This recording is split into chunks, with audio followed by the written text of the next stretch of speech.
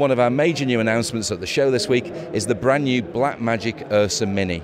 Now, you may recall from NAB last year we introduced the full size Ursa camera, and we've come back to NAB this time around with a more compact and more portable design. The whole camera weighs under three kilograms in terms of the body, so it's designed to be taken and you can use it handheld in a portable environment. If you see on this camera, it features many of the similarities with the larger Ursa model, uh, so it takes professional batteries, it features on the top of this unit the XLR audio inputs. It's got a whole range of uh, video connectivity through 12 gig SDI connections. Records to dual CFast cards, records to ProRes. It obviously records the RAW in Cinema DNG. You'll see it's got a 5 inch uh, touch screen uh, for all of the menus, same as you have on our cinema camera range, uh, very familiar to Blackmagic camera users.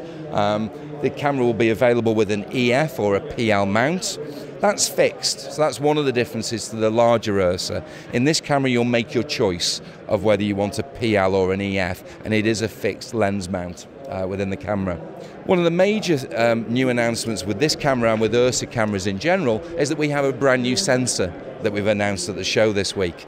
And that new sensor is a 4.6K sensor, uh, delivering an unbelievable 15 stops of dynamic range. So this is the closest we've ever been to film. Indeed, it outperforms some film stock. So we've got a brand new 4.6K sensor version and we'll also be supplying the Ursa Mini with our existing 4K sensor. So there's some choices depending upon how you want to use the camera. So one of the other things you'll see in terms of the connectivity on this camera, like the big Ursa, um, we have a bunch of controls um, so that we can get out, in this case, to a separate EVF. We have a brand new Blackmagic Viewfinder, um, which I'll talk to you about in a second. But we're able to connect to that because we've got a 12 volt power out, as well as having an SDI, uh, SDI output on the side of the camera. Um, they then connect to the EVF that's on top, and I'll bring that around this way so we can see it a little bit better. Um, this is another brand new product.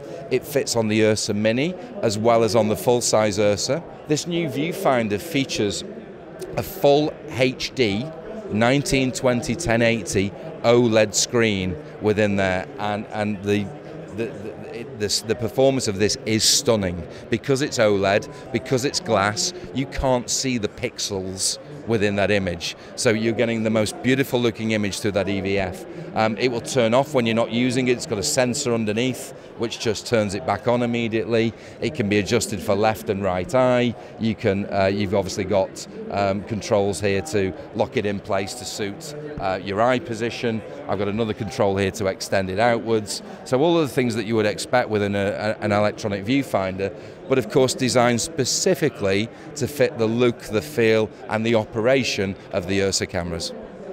One of the things that you'll see on this particular uh, version that we have on the booth here is that we've also got a bunch of accessories that we've developed for it.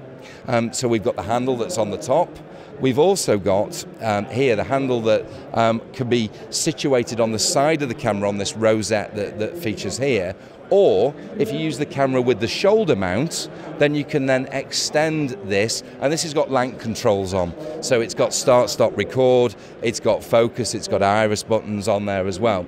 So you can extend the arm of this so that when the camera is on your shoulder, eh, ergonomically it's very nice and it's very easy to use. Availability on the Ursa mini cameras is end of July going into August. Um, the model variations run from the existing 4K EF, which starts at a pretty incredible $2,995, so under $3,000 uh, for the Ursa 4K EF, um, and the Ursa 4.6K EF will be 4,995. Um, so there's, a, there's, there's some variations depending on whether you want the EF or the PL mount, and depending upon the sensor that you would like to have in the camera body.